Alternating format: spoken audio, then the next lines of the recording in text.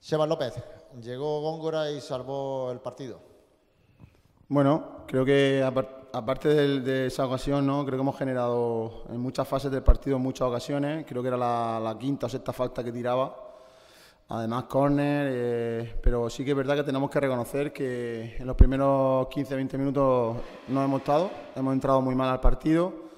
Ellos venían con, bueno, con un trabajo claro de lo que querían intentar que tuviéramos errores, pillarnos a las contras y, sobre todo pues que, no tuviéramos ese juego de, fluidez de la gente de arriba.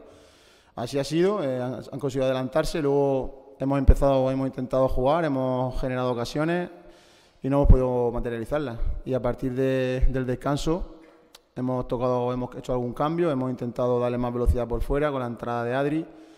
Hemos seguido generando corners, faltas, aún así es verdad que, bueno, hasta el gol del empate de Junior eh, nos faltaba quizá esa última base, esa, esa, situación más clara. Y ha sido difícil, ha sido un partido muy difícil que, quizá que, se nos ha atragantado. Sebas, no es la primera vez. ¿Qué le pasa al equipo en este tipo de partidos que tiene que marcar el equipo rival o darle un susto para despertarse del sesteo? Porque los primeros 15 minutos ha estado desaparecido el equipo. Sí, te lo he dicho al principio, creo que nos hemos entrado bien. Yo creo a veces que, no sé, o miramos la tabla de la clasificación, o nos pensamos que al jugar en nuestro campo nos vale solo con, circulaciones lentas y no está cerca de los rivales. Y estamos viendo ¿no? que este año la tercera división no hay, no hay, ningún rival fácil, todos los equipos te lo van a poner muy difícil. Este equipo la semana pasada, sin ir más lejos, eh, empata al Lorca y con 13 jugadores de campo.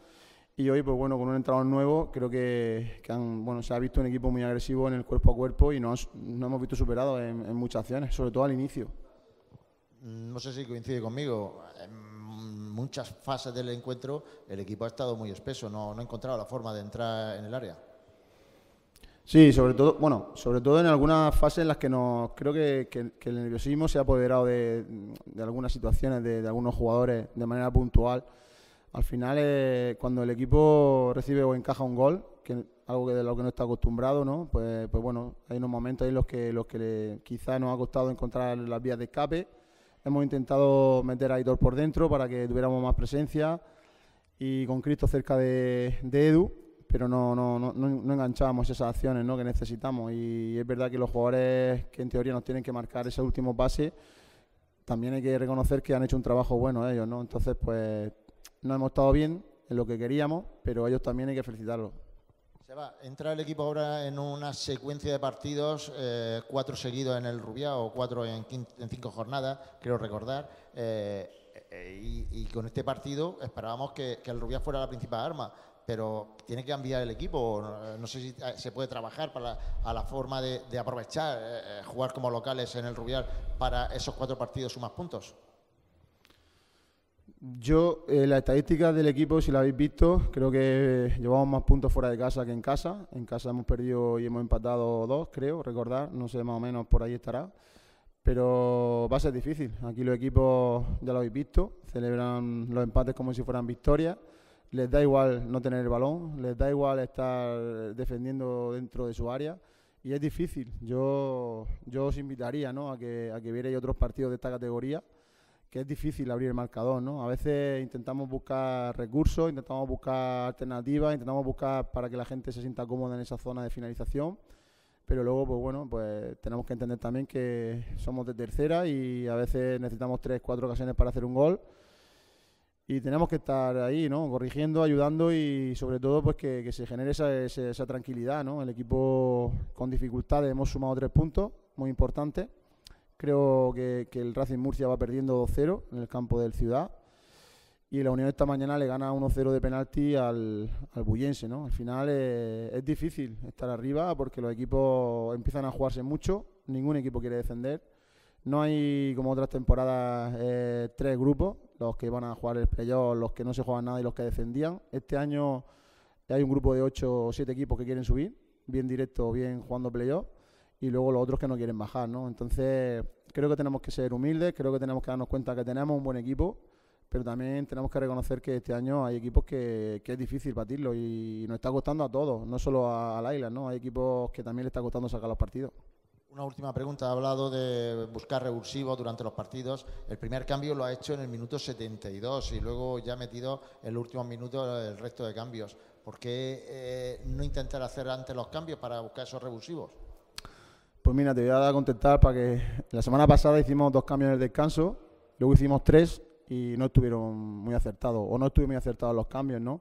Esta semana hemos preferido dar continuidad al equipo, hemos preferido dar continuidad a la gente que estaba en el campo y bueno, creo que, que al final pues no ha salido bien, entre comillas, ¿no? Sí es verdad que podíamos haber eh, oxigenado más a gente que estaba cansada, pero con la experiencia de la semana pasada en Bulla pensábamos que, que no podíamos volver a caer otra vez en, desmontar el, equipo. Teníamos por dentro muy poca gente operativa, eh, Ramón está todavía con el problema de costilla, eh, Andy está con el tema de máscara.